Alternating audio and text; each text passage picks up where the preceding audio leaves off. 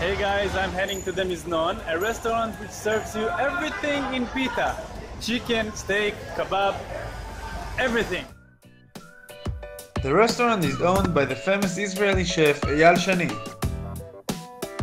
You should place an order and wait for your name to be shouted loudly by one of the cooks.